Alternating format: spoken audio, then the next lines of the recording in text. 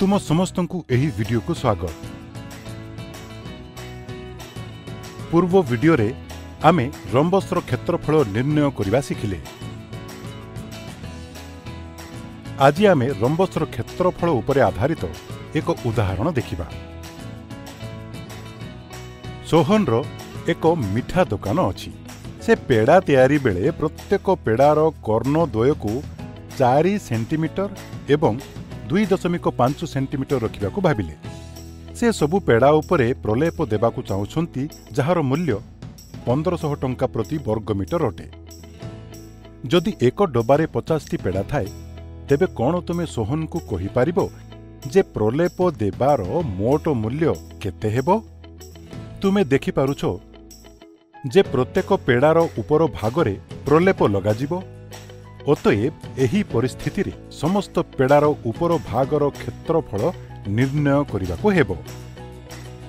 ପେଡ଼ା ଏକ ରମ୍ବସ୍ ଅଟେ ଓ ଆମେ ପୂର୍ବ ଭିଡିଓରେ ପଢ଼ିସାରିଛେ ଯେ ରମ୍ବସ୍ର କ୍ଷେତ୍ରଫଳ କର୍ଣ୍ଣଦ୍ୱୟର ଗୁଣନ ଫଳ ଏକ ବିଭକ୍ତ ଦୁଇ ହୋଇଥାଏ। ପ୍ରତ୍ୟେକ ପେଡ଼ାର କର୍ଣ୍ଣଦ୍ୱୟ ଚାରି ସେଣ୍ଟିମିଟର ଏବଂ ଦୁଇ ଦଶମିକ ପାଞ୍ଚ ସେଣ୍ଟିମିଟର ଅଟେ। ତେବେ ଆସ ଏକ ପେଡ଼ାର କ୍ଷେତ୍ରଫଳ ନିର୍ଣ୍ଣୟ କରିବା ଯାହା ଏକ ବିଭକ୍ତ ଦୁଇ ଗୁଣନ ଚାରି ସେଣ୍ଟିମିଟର ଗୁଣନ ଦୁଇ ଦଶମିକ ପାଞ୍ଚ ସେଣ୍ଟିମିଟର ଅର୍ଥାତ୍ ପାଞ୍ଚ ବର୍ଗ ସେଣ୍ଟିମିଟର ଅଟେ। ଏବେ କ'ଣ ତୁମେ କହିପାରିବ ଯେ ପଚାଶଟି ପେଡ଼ାର କ୍ଷେତ୍ରଫଳ କିପରି ନିର୍ଣ୍ଣୟ କରିବା? ସାବାସ! ସବୁ ପେଡ଼ାର କ୍ଷେତ୍ରଫଳ ପାଇଁ ପେଡ଼ାଗୁଡ଼ିକର ମୋଟ ସଂଖ୍ୟା ଗୁଣନ ପ୍ରତ୍ୟେକ ପେଡ଼ାର କ୍ଷେତ୍ରଫଳ କରିବାକୁ ହେବ। ଆମେ ଜାଣିଛେ ଯେ ମୋଟ ପଚାଶଟି ପେଡ଼ା ଅଛି ଓ ପ୍ରତ୍ୟେକ ପେଡ଼ାର କ୍ଷେତ୍ରଫଳ ପାଞ୍ଚ ବର୍ଗ ସେଣ୍ଟିମିଟର ଅଟେ। ଅତଏବ ପେଡ଼ାର କ୍ଷେତ୍ରଫଳ ପଚାଶ ଗୁଣନ ପାଞ୍ଚ ବର୍ଗ ସେଣ୍ଟିମିଟର ଅର୍ଥାତ୍ ଅଢ଼େଇଶହ ବର୍ଗ ସେଣ୍ଟିମିଟର ଅଟେ। ପ୍ରଲେପ ଲଗାଇବାର ମୂଲ୍ୟ ପନ୍ଦରଶହ ଟଙ୍କା ପ୍ରତି ବର୍ଗମିଟର ଅଟେ।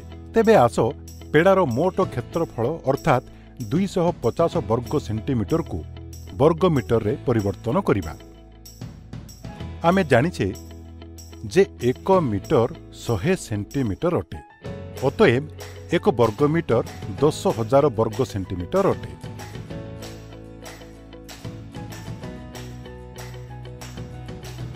ଏଥିପାଇଁ ଦଶ ହଜାର ବର୍ଗ ସେଣ୍ଟିମିଟର ପ୍ରଲେପର ମୂଲ୍ୟ ପନ୍ଦରଶହ ଟଙ୍କା ଅଟେ। ଯେପରିକି ଏକ ବର୍ଗ ସେଣ୍ଟିମିଟରର ମୂଲ୍ୟ ପନ୍ଦରଶହ ବିଭକ୍ତ ଦଶ ହଜାର ହେବ ଯାହା ପନ୍ଦର ପଇସା ଅଟେ। ଏବେ କ'ଣ ତୁମେ ଏହି ସୂଚନା ବ୍ୟବହାର କରି କହିପାରିବ? ଯେ ଦୁଇଶହ ପଚାଶ ବର୍ଗ ସେଣ୍ଟିମିଟର ପ୍ରଲେପର ମୂଲ୍ୟ ଆମକୁ କିପରି ମିଳିବ?